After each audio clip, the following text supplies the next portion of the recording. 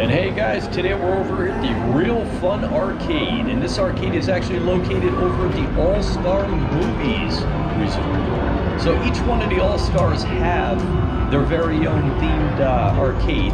They pretty much look the same, but when you walk in, obviously you're greeted with a lot of space. That's a good thing for an arcade. Some of them are just little closets in the wall, but the All Stars actually have a lot of space set up. You got a good mix and match of the actual games in here, so you guys can see a little bit of everything sprinkled out through the uh, arcade there. Now, when you guys go to some of the other resorts, you're going to see some of them are bigger, some of them are smaller you're going to pick out probably the uh, resort that has your favorite arcade in it.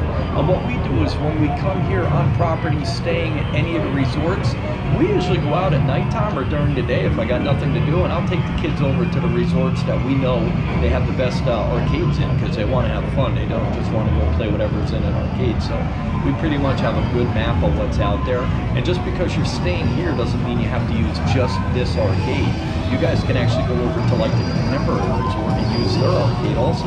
You just got to jump on a bus or some kind of transportation to get you over there. You can see there's a lot of space in here, a good mix and uh, match of games.